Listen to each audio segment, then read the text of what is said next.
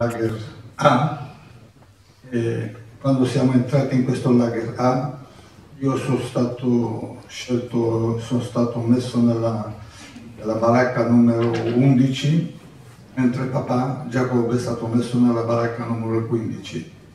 E dopo il lavoro ci incontravamo giusto per discutere un pochettino, per avere anche la soddisfazione di sentirci. Eh, era uno dei momenti di grande, posso dire, importanza per me perché mi sentivo al sicuro avendo un papà vicino. Però avevo anche dall'altra parte dal, dai fili spinati mia sorella Lucia, la mia amata sorella Lucia.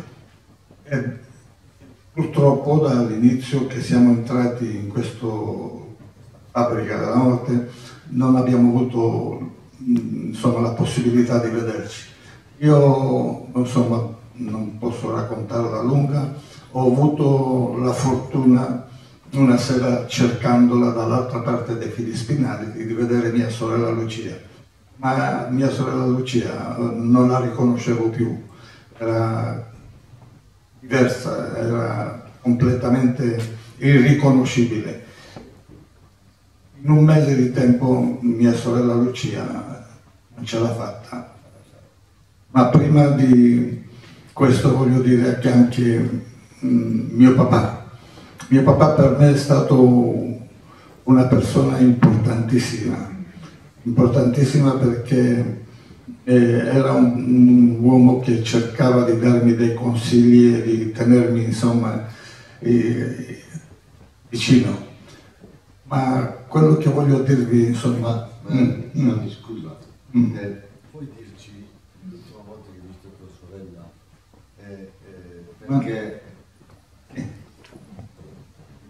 Allora, avendo visto mia sorella dall'altra parte dei fili spinati in condizioni veramente disastrose,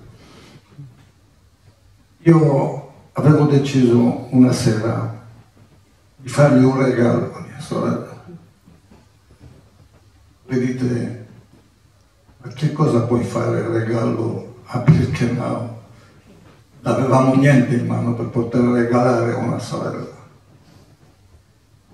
E avevo deciso quella sera di non mangiare la mia fetta di pane di 125 grammi.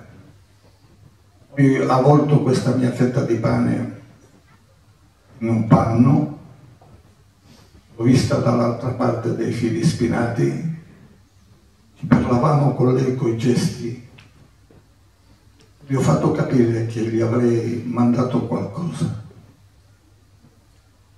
E lei aveva capito. Io ho fatto i salti mortali per poter spedire questa fetta di pane dall'altra parte dei fili spinati perché c'erano sempre questi gozzini nelle torrette che guardavano e controllavano tutta la situazione, in tutti i casi questa fetta di pane mia è arrivata dall'altra parte dei fili spinati.